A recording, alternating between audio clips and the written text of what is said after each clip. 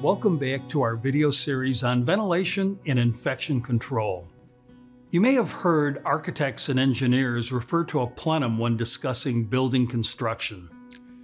A ceiling plenum is a space between the structural ceiling and a drop-down ceiling. It's used in some heating, ventilation, and air conditioning or HVAC systems to return air to an air handling unit. Not only that, it also plays a role in infection control. How? Let me explain.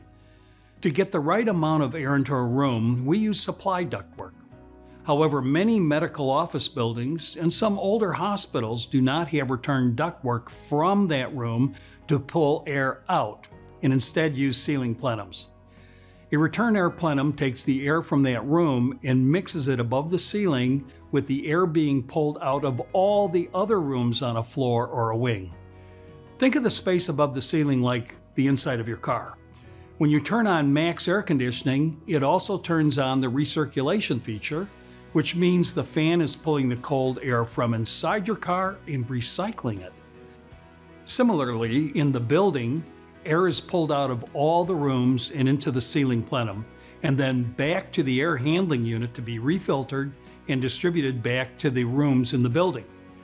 Rest assured, in hospitals, return air plenums are not permitted for high infection control risk spaces, such as negative pressure airborne infection isolation rooms and emergency department waiting rooms. However, return air plenums can raise some infection control concerns in areas where they are permitted, such as in medical office buildings and clinics. Unlike return ductwork that can be cleaned, above ceiling plenums are full of building utilities such as piping, wiring, and non smooth surfaces, which can prevent cleaning and make it easier for germs to linger. It is difficult, costly, and disruptive to operations to convert existing return air plenums to ducted air returns, so you might have rooms with ceiling plenums in your healthcare facility. It's important for clinical staff to know about the type of room you're working in and the airflow in a room. That's because patients that are suspected of having an airborne illness need to be isolated from other patients in a room that does not share a plenum with other spaces.